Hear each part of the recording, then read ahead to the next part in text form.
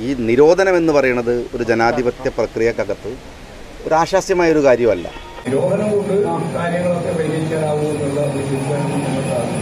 B J P ഇപ്പോൾ ഗവൺമെന്റിലുള്ള ഒരു കക്ഷിയാണ് ഭരിക്കുന്ന കക്ഷിയാണ്. അവർ എടുക്കുന്ന നിലപാടുകൾ നിഷ്പക്ഷമായിരിക്കണം a ban is not a solution to tackle this problem we have seen our own experience has been India's experience.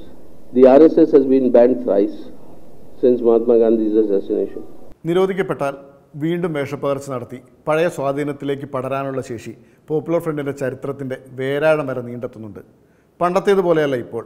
ഇന്ന് popular ഫ്രണ്ടിന്റെ സ്വാധീനം ഓളപ്പരപ്പിലെ മഞ്ഞു പോലെയാണ് അത് കണ്ണെത്താത്ത ദൂരത്തിൽ എവിടെ വരെ നീണ്ടെത്തിയിരിക്കുന്നു എന്നത് വ്യക്തമല്ല. അത് ഇവിടുത്തെ മുഖ്യധാര രാഷ്ട്രീയ നേതൃത്വങ്ങളെ പോലും ആശങ്കപ്പെടുത്തുന്ന യാഥാർത്ഥ്യമാണ്.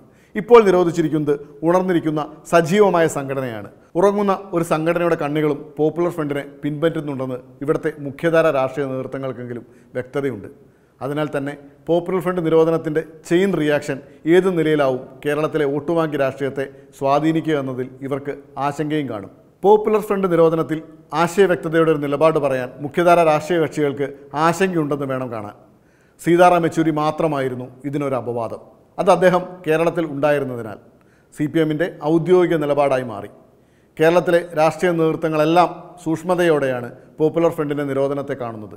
അതിന് കാരണം ഓളപ്പരപ്പിലെ ഇളക്കങ്ങളിൽ തിരിച്ചറിയാൻ കഴിയാത്ത വിധത്തിലുള്ള മലബാറിന്റെ ന്യൂനപക്ഷ മനസ്സിന്റെ ചലനങ്ങളാണ്. വിരുദ്ധാഭിപ്രായങ്ങളെ അടിച്ചമർത്തുന്ന ബി ജെ പിയുടെ ഫാസിസ്റ്റ് രാഷ്ട്രീയത്തിന് എതിരാണ് കേരളത്തിലെ ഭരണപക്ഷവും പ്രതിപക്ഷവും. മുസ്ലിങ്ങളെ രണ്ടാം പൗരന്മാരായി കാണുന്ന ഹിന്ദുത്വയുടെ ആശയപരിസരം പിൻപറ്റുന്ന നരേന്ദ്രമോദി സർക്കാരിന്റെ നടപടികളെ ആശങ്കയോടെയും സംശയത്തോടെയുമാണ് കേരളത്തിലെ മുസ്ലിം ന്യൂനപക്ഷ വിഭാഗങ്ങൾ കാണുന്നത്. വിശേഷിച്ച് മലബാറിലെ മുസ്ലിങ്ങൾ.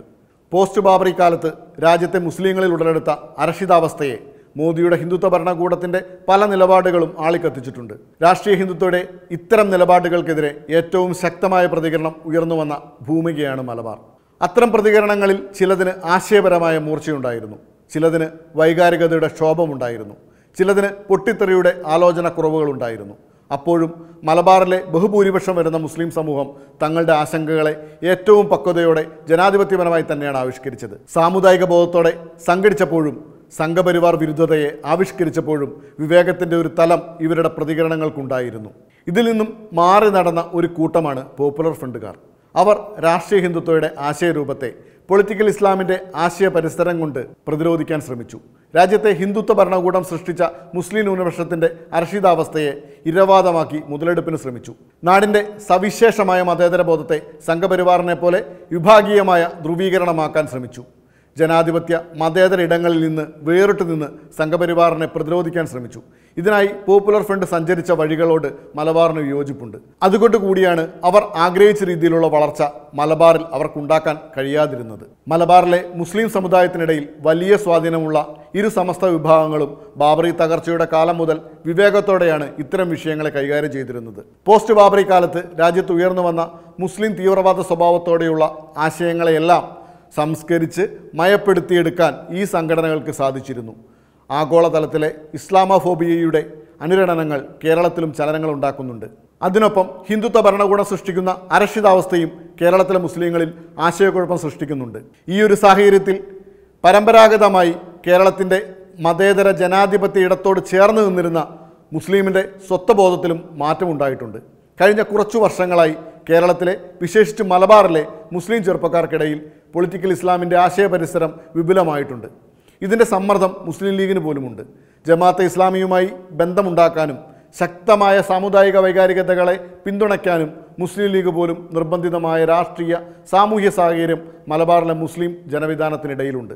വളരെ നിഗൂഢമായി വേരുകളാഴ്ത്തുന്ന നിലയിൽ രാഷ്ട്രീയ വ്യത്യാസമില്ലാതെ പോപ്പുലർ ഫ്രണ്ടിന്റെ സാന്നിധ്യമുണ്ട്. അതിനാൽ തന്നെ പോപ്പുലർ ഫ്രണ്ടിന്റെ നിരോധനം മലബാറിലെ രാഷ്ട്രീയ പരിതസ്ഥിതിയിൽ എന്തു ചലനങ്ങൾ ഉണ്ടാക്കുമെന്ന് കാത്തിരുന്ന് തന്നെ കാണണം. പോപ്പുലർ ഫ്രണ്ടിന്റെ പാർലമെന്ററി രാഷ്ട്രീയ രൂപമാണ് S D P I S D P I നിരോധിക്കപ്പെട്ടിട്ടില്ല. മുസ്ലിം രാഷ്ട്രീയത്തിന്റെ ആശയ പരിസരത്ത് ഇപ്പോൾ ലീഗിനേക്കാൾ സ്വീകാര്യരായി എസ് ഡി പി ഐ മാറുന്നുണ്ട്. ചെറുപ്പക്കാർക്കിടയിലെങ്കിലും. സമസ്തയും മറ്റ് പരമ്പരാഗത മുസ്ലിം സംഘടനകൾ രൂപപ്പെടുത്തിയ സഹവർത്തിത്വത്തിന്റെ സാമുദായിക ബോധം മലബാറിൽ ദുർബലപ്പെടുകയാണ്. പകരം പൊളിറ്റിക്കൽ ഇസ്ലാമിന്റെ ആശയം ചെറുത്തുനിൽപ്പിന്റെ രാഷ്ട്രീയ പ്രതീകമായി മാറുകയാണ്.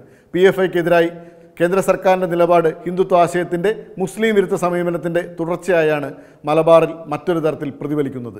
അതിനാൽ തന്നെ പി എഫ് ഐയെ നിരോധിച്ച സാഹചര്യം എസ് ഡി പിയുടെ സ്വീകാര്യത മലബാറിൽ വർദ്ധിപ്പിച്ചേക്കും.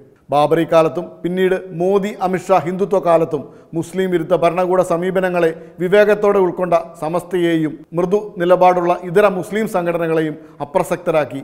തീവ്ര സാമുദായികതയുടെ പിടിയിലേക്ക് മലബാറിലെ മുസ്ലിം രാഷ്ട്രീയ അടിത്തറ പരിണമിച്ചേക്കാം. മുസ്ലിം വിഭാഗത്തിന്റെ അരക്ഷിതാവസ്ഥയെ അഭിസംബോധന ചെയ്ത് ഈ പരിണാമത്തെ പിടിച്ചു നിർത്താൻ പൊതുജനാധിപത്യ പ്രസ്ഥാനങ്ങൾക്ക് ശേഷിയുണ്ടോ എന്ന ചോദ്യമാണ് മലബാറിനെ സംബന്ധിച്ച് നിർണായകമാകുക.